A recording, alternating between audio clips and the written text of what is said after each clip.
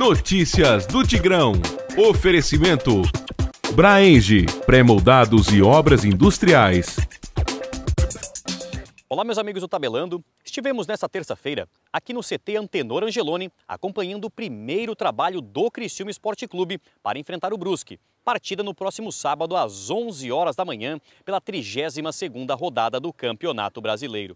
O técnico Cláudio Tencati deu folga aí juntamente com, com toda a comissão técnica para os jogadores. No dia de ontem, segunda-feira, e hoje começou os trabalhos. Mas o que vimos aqui no CT Antenor Angeloni, por enquanto ainda não é nada revelador com relação ao time que vai enfrentar o Brusque no próximo sábado. Isto porque o trabalho realizado foi um trabalho técnico aí, utilizando todo o campo, mas com três equipes três coletes diferentes. Uma equipe com colete verde, outra equipe com colete rosa e uma equipe com colete azul. Fez um trabalho defensivo, ofensivo e também de transição do meio-campo. Mas tudo isso ainda sem revelar a provável equipe, o provável time do Criciúma para enfrentar o Brusque no próximo sábado. Agora, algumas coisas interessantes que a gente viu aqui no treinamento foi, por exemplo, a volta, o retorno do Marcelo Hermes. Ele que esteve lesionado, fez a transição nas últimas semanas e hoje já colocou o colete só para registro, o colete azul. Colocou o colete azul aí, fez o seu trabalho já juntamente aqui com o restante do elenco no CT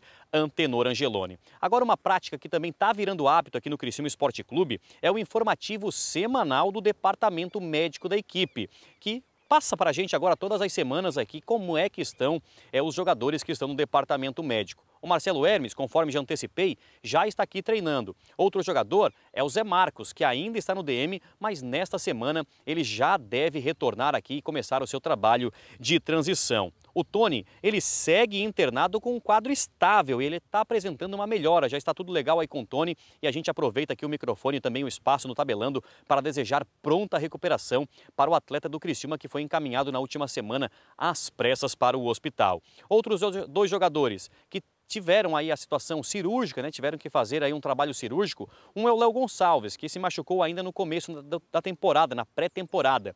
Ele já está na transição e em breve também deve iniciar o trabalho com bola. Outro jogador é o Thiago Marques, atacante, acabou se lesionando também no começo da temporada. Jogador aí que chegou para ser um dos atletas da camisa 9 do Criciúma fez a cirurgia e agora está na parte é, de transição também, já na verdade não de transição, já está na parte de fortalecimento na academia do clube. No treinamento de amanhã, quarta-feira, novamente marcado para as 3 horas da tarde, o técnico Cláudio Tencati aí sim deverá começar a confirmar a sua equipe a montar o time que vai enfrentar o Brusque. Partida no próximo sábado, às 11 horas da manhã, no estádio Augusto Bauer, na cidade de Brusque. Com as informações do Tigre, para os amigos do Tabelando, repórter Tiago Inácio. Notícias do Tigrão. Oferecimento. Braenge, pré-moldados e obras industriais.